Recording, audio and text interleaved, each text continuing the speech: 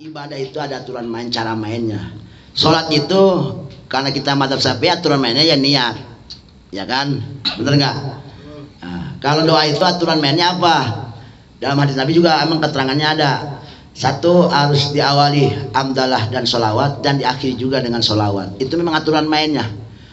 Artinya supaya doa kita makbul artinya ibadah doa kita diterima dapat pahala doa maksudnya begitu. Seperti halnya sholat pakai niat supaya sholat kita diterima. Taruhlah itu sebagai rukun doa lah itu istilahnya. Kalau nggak pakai dilakuin jadi rancuh doanya. Nggak diterima apa nggak diterima begitu. Ya jadi pakai selawat harus. Itu seakan-akan persyaratan dalam doa. Memang orang yang nggak pakai selawat doanya nggak diterima. Makanya harus selawat dulu buka dengan selawat tutup dengan selawat. Ya itu kayak kayak sholat itu ya persyaratannya ya wudhu dulu. Kalau nggak wudhu ya nggak sah sholatnya nggak diterima. Itu maksudnya supaya kobul doa kita. Kobul arti di sini bukannya di bukannya ntar maksud kita dijawab bukan. Kobul maksudnya pahala doa kita diterima. Ini ibadah kita berdoa diterima. Masalah antara eh, kita minta ano eh besok kejadian. Itu mah kebenaran aja. Memang udah waktunya Allah kasih. gitu. Jangan kita ini kebanyakan begini. Orang yang orang model kita ini kebanyakan tertipu dengan seperti itu. Di kamu plase jadi kita kayak tertipu. Jadi ntar anggapannya apa? Ini hasil buat tahajud sebulan ini. Begitu kadang-kadang. Uh, jangan salah tuh ini bukan main tahajud gua sebulan ya alhamdulillah ke, ke, ke, kecapean juga.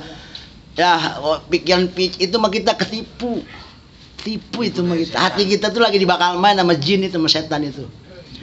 Iya. Iya begitu kan? Ada nggak yang begitu?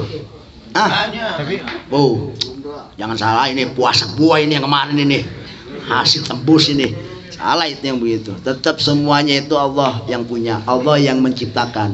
Ya Allah yang menciptakan. Assalamualaikum teman-teman. Berjumpa lagi dengan saya di sini di channel Bang Mo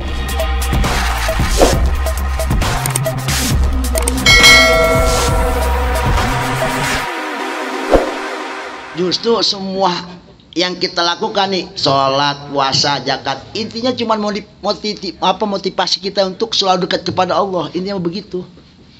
Supaya kita iman kita dijaga sama Allah itu motivasinya maksudnya. Tujuannya kayak itu. Pernah dengar nggak kalau surga itu bukan karena sholat? Ya, benar. tapi jangan jangan sangka begini berarti jangan sholat dong kalau begitu mah. Ya salah.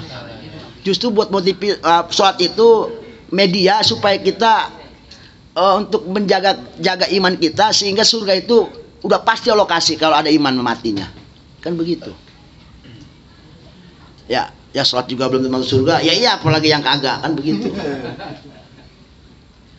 Iya yang ngejaga aja belum tentu bisa apalagi yang kagak ngejaga. Kan masalahnya itu. Support doang target supaya orang tuh demen.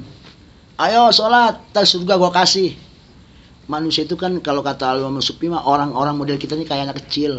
Apa-apa pakai dirayu nah kita beliin gua kita tergupain dah. Mau. Sholat tergupain. Mau.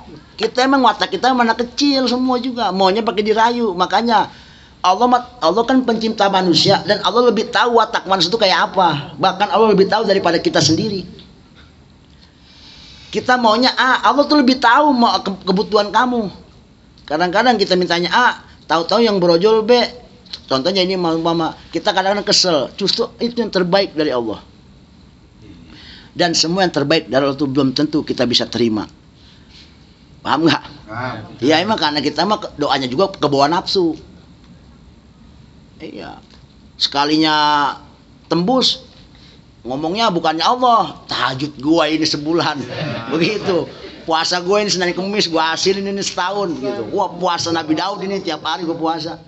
Kita mau udah salah aja lagi ngomongnya aja udah salah udah ngawur